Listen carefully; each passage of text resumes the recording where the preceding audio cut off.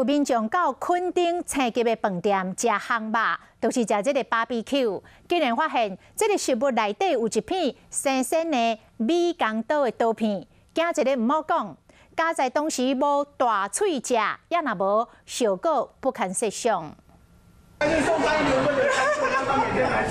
民众咧食烘肉，有一个查甫人向向我过来，甲伊问敢有好食。原来因伫食物换生果的美工刀片，饭店的人员才过来关心。肉的食材上面发现了刺刀片，一个妹妹拿美工刀处理扇贝的时候，刀片断了。那当下有寻找，但是寻找不到，极力的解释这不是他们的问题，这只是一场意外。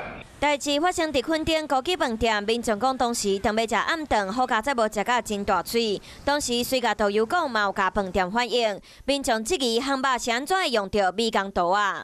食材切割包装造成刀片弹飞到客人的餐盘上，再加强教育训练，改用小剪刀来去做处理，限期改正。借期不改正，处新台币六万元以上两亿元以下罚款。卫生局已经要求饭店限期改善。台湾疫情开始较回，国内旅游大爆发，昆丁嘛变做热门的旅游景点。为着要迎接游客，饭店应该做好更加侪准备。想要获取更多新闻资讯，想要看到主播最新的动态，赶快订阅华视 YouTube 频道。